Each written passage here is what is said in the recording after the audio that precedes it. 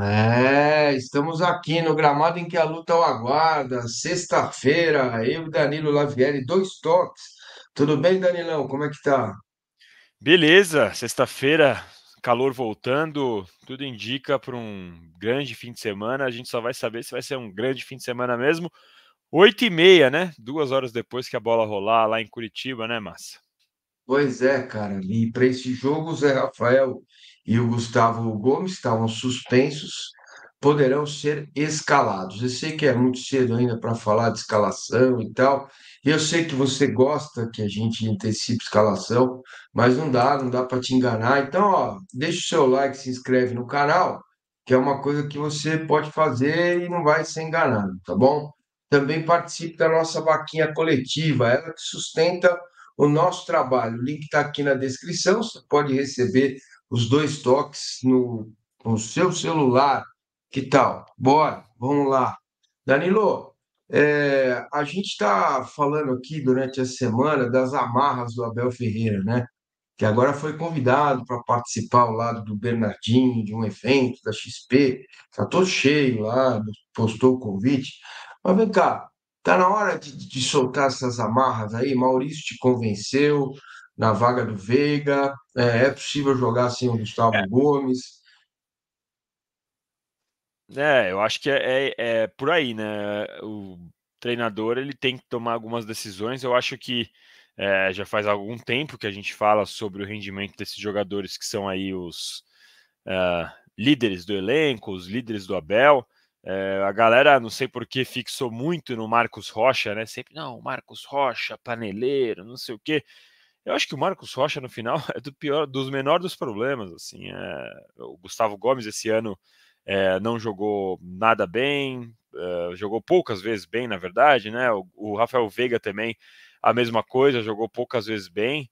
E eu acho que é, chega uma hora que o treinador tem que tomar essas decisões e aproveitar, cara, de repente aproveitar que o Gustavo Gomes estava suspenso, que jogou último, a última partida sem ele. Falar, olha, Gustavo, a gente vai manter aqui por mais duas partidas, depois você volta, porque o Gustavo não está no seu melhor da forma e na, na, última, na última partida o Palmeiras foi seguro. Né? Então, assim, chegou a hora para mim realmente, especialmente do Gustavo Gomes. O, o Rafael Veiga, eu ainda tenho para mim que nessas mudanças de, de, de, tática, nessas mudanças de formação, muitas vezes ele tinha que fazer uma função que não estava acostumado, não é nem que ele não saiba fazer, mas é porque não é da noite para o dia, né? O cara tá jogando há não sei quanto tempo, de um jeitinho, na direita, tal, tal, tal. Aí chega o treinador e fala: Ó, oh, hoje você vai jogar para mim um pouco mais para a esquerda, fazendo mais um papel de oito. Ele às vezes pode até fazer bem, mas tem um tempo de adaptação e a gente tem que respeitar isso. Então, mas do Gustavo Gomes não é muito questão de adaptação, não. Acho que ele tá numa má fase mesmo. Meu amigo, vem cá, o Zé Rafael, você tem alguma explicação para o ano tão ruim que ele está fazendo agora? Nós estamos chegando ao mês 9 já, né? Tá fechando o mês de agosto e ele não conseguiu jogar o que ele já jogou. Ano passado ele foi fundamental, é, e esse ano não conseguiu jogar. Condição muscular, problema nas costas, vai e volta, não consegue jogar. O teu meio-campo é Aníbal e, e Rios para jogar contra o Atlético Paranaense lá na Arena da Baixada? É, o Zé, ele tá. Putz, tem, tem muito, muita especulação, né? Eu não me sinto nem tão à vontade que eu não consegui uma fonte confiável para falar e tal. Alguns motivos do que do Zé não jogar bola de verdade. É, enfim, o fato é que ele não está confiante, o fato é que ele não está jogando o melhor futebol dele. E como você disse, no ano passado, para mim, o Zé foi o melhor o melhor do ano, cara, o melhor, o representante do ano do Palmeiras no ano passado, praticamente. Jogou muito. É... E aí, não, esse ano não, não tá fluindo. É, o Rios, ele fez boa partida contra o São Paulo, foi muito bem contra o São Paulo. É, e mas também está naquele ano que a gente não sabe muito bem o que vai acontecer, né? Ele pode ter feito a partida do ano contra o São Paulo, depois entra mais ou menos. É, mas entre os dois hoje eu ficaria com o Rio, sim. E o próprio Aníbal também não está na melhor da forma, mas Aníbal e Rios é, eu acho que dá um meio de campo hoje mais seguro. Lembrando que o Atlético Paranaense também não vive nem um pouco, nem de perto, a sua melhor fase, é, passou na Sul-Americana, mas tá mal aí, já perdeu na Copa do Brasil na estreia, no Brasileirão é, o treinador tá pressionado, a torcida tá reclamando, Fernandinho machucado, o Atlético também não tá nem, nem perto da sua, do seu 100%.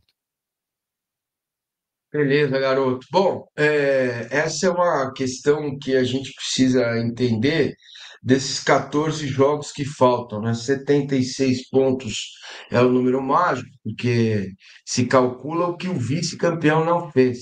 Mas já tivemos campeões com mais de 76, né? Então também tem esse outro lado da moeda. Da moeda.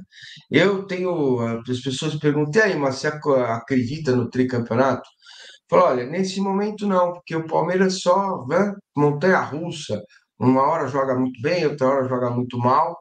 E eu digo que esses jogos que o Palmeiras tem pela frente, domingo o Atlético Paranaense, Criciúma em casa, o Vasco em Brasília, essa é uma mudança importante. Porque jogar em São Januário é uma coisa, jogar em Brasília é outra. E depois o Galo no Allianz Parque, aí vão faltar 10 rodadas.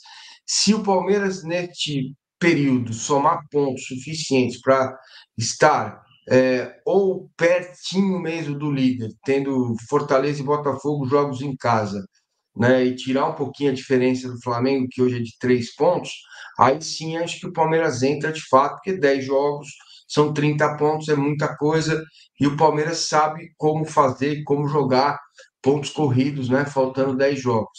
Essa é a minha teoria.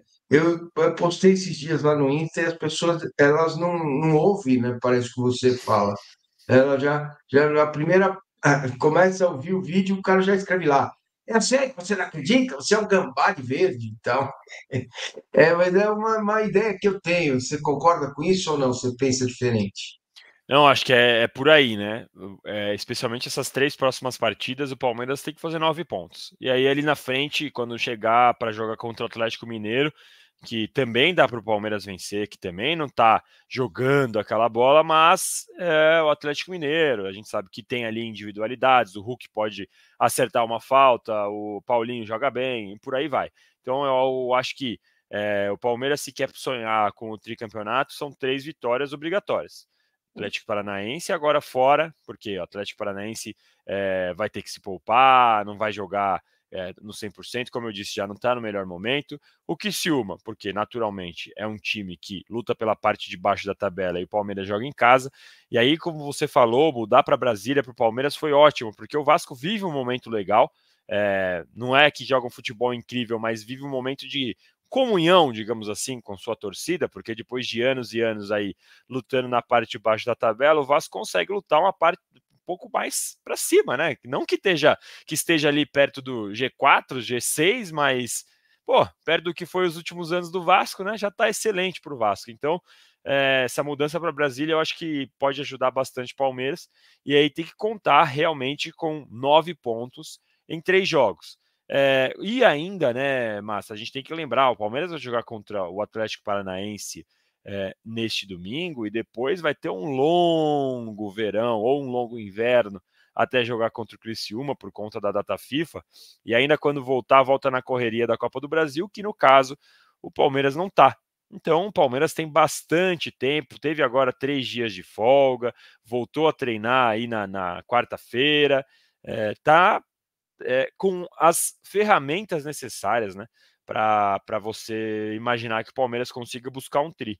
E lá na frente, quando o Palmeiras ainda for chegar para pegar o Vasco e vai ser em Brasília, a gente ainda vai ter que ver como vai estar tá a tabela do Vasco, porque o Vasco passando do Atlético Paranaense é capaz que fique ainda pensando em ter que poupar, porque para o Vasco a Copa do Brasil é uma grande realidade. O Vasco já está na quarta de final e já ganhou o primeiro jogo. Então é capaz que o Palmeiras tenha dois jogos agora, pegando o Atlético Paranaense é, desfalcado e não melhor, e lá na frente pegando o Vasco também, que não está na sua melhor forma. Então, aliás, que vai estar tá, é, revezando o seu time. Então o Palmeiras tem que aproveitar. Já que teve a dor, o agosto sangrento, fez o Palmeiras sangrar pra caramba, aproveita, né? Fazer o quê? Os caras não estão tá jogando, o Palmeiras não. Então o Palmeiras tem que aproveitar esses momentos de jogar contra os times é, desfalcados. Sabe para quê, Massino? Para chegar lá em dezembro, o Palmeiras for tricampeão, se conseguir, e a gente ouvir nossos colegas falando assim: é, mas também o Palmeiras teve uma sorte danada, né? Pegou todos os times desfalcados, pegou todo é... mundo pensando em outras coisas. Sempre tem alguma coisa, né, Márcio? Sempre. Sempre tem, meu amigo. Então, ó, não esqueça de deixar o like aí, por gentileza. Dois toques dessa sexta-feira com o Danilo Lavieri. Muito obrigado. Valeu, Danilo. Bom fim de semana para você, garoto. Valeu, tamo junto. E é isso. Domingão, seis e meio jogo. Ah, só na TV Furacão, Casé TV, essas coisas aí da modernidade. Então vamos ver o que vai acontecer. Vamos ver se a gente fecha esse domingão com esse fim de semana, tudo muito bem. Lembrando, gente, likes, Passem para os seus coleguinhas no WhatsApp e vamos embora. Bom, não sei como vocês se comportam, como vocês aí que estão vendo a gente se comportam, mas sábado tem Fortaleza e Botafogo. Um a um seria espetacular. Corinthians Valeu. e Flamengo também, né? Um a um também seria espetacular, porque não ajuda o Corinthians não. e não ajuda o Flamengo. Tá bom. Não, não, nesse caso, deixe o Flamengo perder ponto, outro jogo. Vamos lá, valeu, Danilo Lavier. Um abraço, até mais. Um abraço, bom fim de semana a todos aí. Ó, Neste sábado tem uma matéria muito legal do Pedro sobre a base do Palmeiras. Domingo tem pré e pós-jogo aqui no canal.